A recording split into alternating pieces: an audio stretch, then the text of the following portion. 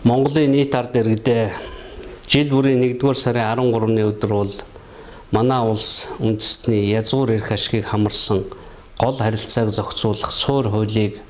ард түмэнтэйгээ хамтран хилцэж хүний эрх эрх чөлөөг баталгаажуулсан арчилсан тогтолцооны үндсийг бүрдүүлсэн шинэ үндсэн хуулиа баталсан түүхт баярын өдөр юм а. Энэ баярын өдөр шинэ үндсэн хуулийг батлахад бие сэтгэл оюуна жилийн оролцсон улсын баг хурлын гишүүд, ардын их хурлын депутатууд, эрдэмтэн судлаачид хуулийн төсөл боловсруулах хуралдаанд бэлтгэх ажлыг хариуцсан улсын баг хурлын хамгийн газрын ажилтнууд болон нийт ард түмэндээ Монгол улсын их хурлын нэрийн өмнөөс болон хувьяасаа чин сэтгэлийн талархал илэрхийлж баярын мэнд дэвшүүлье. Олон хуульч, улс төрчид, нийгмийн зэтгүүлтнүүдийн хүч оролцоотойгоор боловсруулагдсан үндсэн хуулийн төслийн талаар тухайн үед нийт ард түмнээс 3 сар гаруй хугацаанд санал авч засаг захиргаа нутаг дэвсгэрийн нэгж бүрийн төлөөлөл багтсан. Улс төрийн олон намын тогтолцоо бүхий ардын их хурлын 430 депутат 76 хоногийн турш оюун бодол, эрдэм мэдлэг, ажил амьдралын туршлагаа дайчлан ажиллаж идэвх зүтгэл гаргасны үр дүнд Монгол улсын анхны арчилсан шинэ үндсэн хуулийг баталсан түүхтэй арчилсан нийгмийн суурийг бэхжүүлсэн шинэ үндсэн хууль маань тусгаар тогтнолыг улс төрийн хувьд баталгаажуулж хүний эрх эрхчлөөг бодиттой хангахын тулд иргэн бүрийн өмчлөх эрх, үзэл бодлоо чөлөөтэй илэрхийлэх, сайн дураараа эвлэлдэн нэгдэх, төрийн удирдах хэрэгт оролцох боломжийг баталгаажуулан төрийн эрх мэдлийн хуваарлтыг бий болгоснороо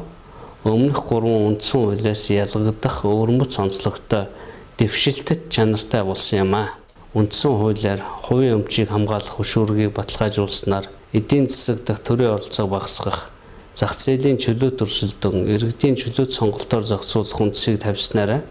түүхэн чухал үүрэгтэй болсон юм а. Сүүлийн жилүүдэд төрийн удирдлагын бүтэц зохион байгуулалтыг боловсронгуй болох зорилгоор үндсэн хуульд өөрчлөлт оруулах, зарим зүйл заалтыг боловсронгуй болох талаар санал санаачлага олонтоо гарч байна. Үнтэй холбоотойгоор улсын их хурлын даргын 2013 оны 2 дугаар сарын 8-ны өдөр 27 дугаар захирамжаар томилогдсон ажлын хэсэг үндсэн хуульд оруулах нэмэлт өөрчлөлтийн төслийг 2011 онд батлагдсан. Монгол улсын үндсэн хуульд нэмэлт өөрчлөлт оруулах журмын тухай хууль заасны дагуу боловсруулан 2015 онд улсын их хурлд өргөн мэдүүлээд байна. Монгол улсын иргэн бүрийн сайн сайхан эрх чөлөөтэй амьдрах нийтлэг хүсэл зориг ашиг сонирхлыг хамгаалах гол бодлого болсон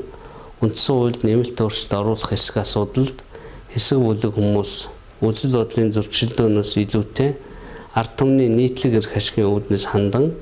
нухацтай хилцсэн үндсэн хуулийн одоогийн хөрсөн төвшин ололт амжилтыг бууруулахгүй цааш нь улам бэхжүүлэн сайжруулах чиглэлийг чанд баримтлах учиртай гэж би үздэг.